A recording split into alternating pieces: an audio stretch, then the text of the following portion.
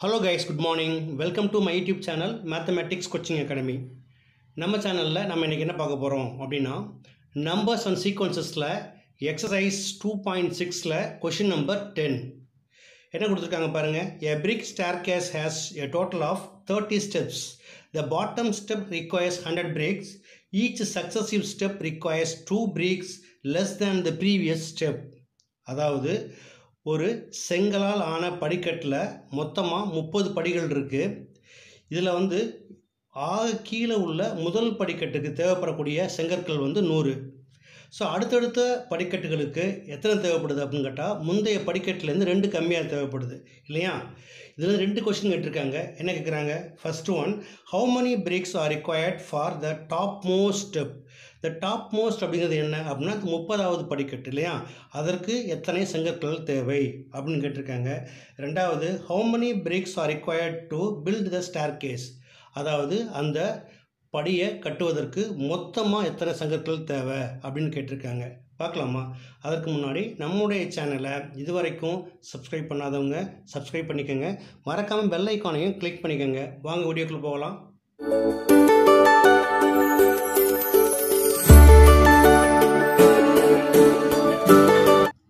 Okay guys இப்போ அவங்க கொடுத்த அந்த ஸ்டேட்மெண்ட்டை நம்ம ஒரு ஏபி சீக்வன்ஸ் எழுதிக்கலாமா? எப்படி வருது வந்து? ஃபஸ்ட்டு வந்து ஃபஸ்ட்டு படிக்கட்டுக்கு எத்தனை செங்கல்கள் தேவை? ஹண்ட்ரட் இல்லையா? அதுக்கப்புறம் அதுலேருந்து ரெண்டு கம்மியாக எழுத சொன்னாங்க. அப்போ ninety eight plus ninety six plus and seven இது மாதிரி எத்தனை ஸ்டெப்ஸ் போகுது அப்படின்னா டோட்டலாக thirty steps up to thirty steps okay இதான் அந்த ஏபி இதுக்கப்புறம் ரெண்டு கொஷின் கேட்டிருக்காங்க. ஃபர்ஸ்ட் கொஷின் என்ன how many bricks are required for the top most step அதாவது டாப் மோஸ்ட் தேர்ட்டியத் ஸ்டெப்பில் அப்படின்னு அர்த்தம். அப்போ டி தேர்ட்டி ஈக்குவல் டு என்ன? அப்படின்னு கேட்டிருக்காங்க. இது ஃபஸ்ட்டு கொஷின் ரெண்டாவது கொஷின் என்ன கேட்டிருக்காங்க? அப்படின்னா how many bricks are required to build the staircase அப்போது மொத்தமாக எத்தனை ஸ்டெப்ஸ் இருக்குது? தேர்ட்டி ஸ்டெப்ஸ் இல்லையா? அந்த தேர்ட்டி ஸ்டெப்ஸுக்கும் எத்தனை பிரிக்ஸ் தேவை? அதுக்கு என்ன பண்ண நம்ம வந்து எஸ் தேர்ட்டி யூஸ் பண்ணணும் ஓகே இப்போ எஸ்எனுக்கு ஃபார்முலாவும் தெரியும் உங்களுக்கு. டிஎன் ஃபார்முலா தெரியும் உங்களுக்கு. இதை யூஸ் பண்ணி ஒர்க் பண்ணிடலாமா? ஃபஸ்ட்டு டிஎன்க்கு என்ன formula Tn equal to a plus n minus one into d okay இப்போ இதில் ஏ என்ன?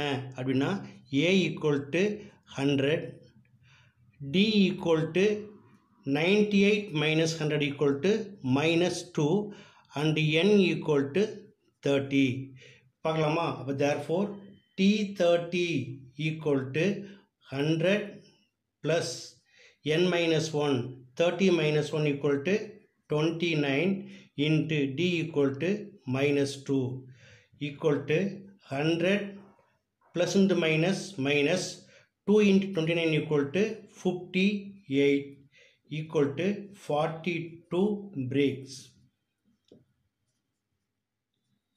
அப்போ இந்த தேர்ட்டியத் ஸ்டெப்ஸில் எத்தனை பிரேக்ஸ் இருக்கும் அப்படின்னா ஃபார்ட்டி டூ பிரேக்ஸ் ஓகே அடுத்து செகண்ட் கொஷின் என்ன கேட்டிருக்காங்க?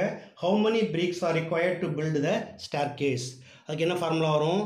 எஸ்என் எஸ்என் ஈக்குவல் டு என்ன formula n by two into two a plus n minus one into d so இதுக்கு அதே டேட்டா தான். பார்க்கலாமா? அப்போ S thirty equal to thirty divide by two into two into a வந்து hundred plus என் minus ஒன்னா thirty minus one equal to twenty nine into d equal to minus two அப்போ equal to thirty by two equal to fifteen into two into hundred two hundred plus into minus minus two in twenty nine equal to fifty eight equal to fifteen into hundred and forty two இப்போ hundred and forty டூவை ஃபிஃப்டீனில் into பண்ணால் நம்மளுக்கு என்ன answer கிடைக்கும் அப்படின்னா equal to two thousand hundred and thirty bricks okay இப்போ டோட்டலாக அந்த தேர்ட்டி ஸ்டெப்ஸுக்கும் எத்தனை பிரேக்ஸ் தேவைப்படுது? Two thousand hundred and thirty bricks okay இப்போ இந்த ரெண்டு கொஸ்டின் கன்க்ளூஷன் எழுதிடலாமா? என்னது? ஃபஸ்ட் ஒன் வந்து number of bricks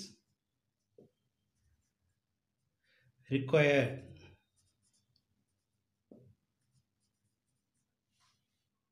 for the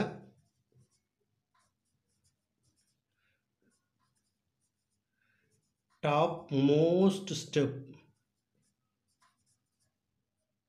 equal to 42 okay அடுத்து செகண்ட் வந்து number of bricks required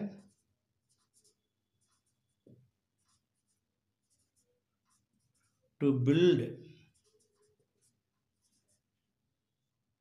the staircase.